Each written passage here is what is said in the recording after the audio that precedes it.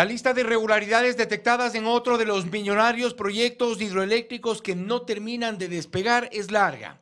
Toachi Pilatón es ahora también un caso que llegará más temprano que tarde a manos de la justicia para identificar a los responsables.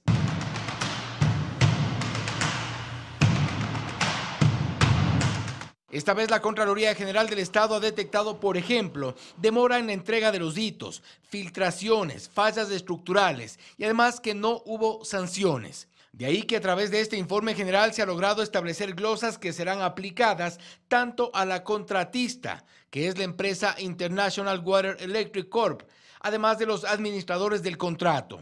Contraloría dice en el informe que en cuanto al incumplimiento de plazos y por la falta de cobro de multas y garantías, se establece una glosa superior a los 29.8 millones de dólares.